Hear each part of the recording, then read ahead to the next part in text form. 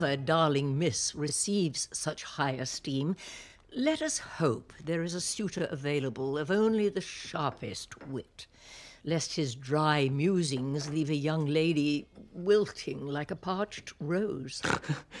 It is rather clever the way she uses plant puns to belittle. Clever indeed. The candlesticks, see what they're worth. yes, ma'am.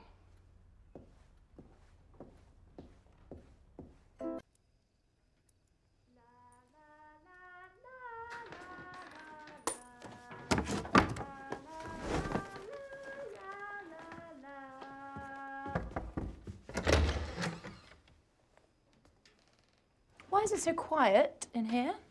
Because I am alone. Reading, as I always do. You are so boring.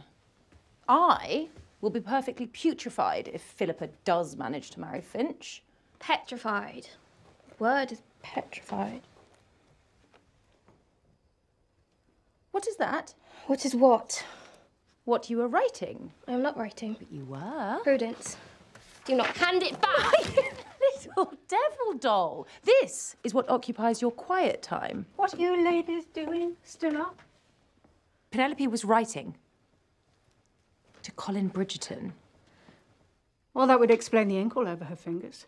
I declare, Penelope. Colin is my friend. As if he would ever waste his ink on someone like you. These worth anything? What? Your books. Books can be worth something, can they not? Do you not think so, Mamma?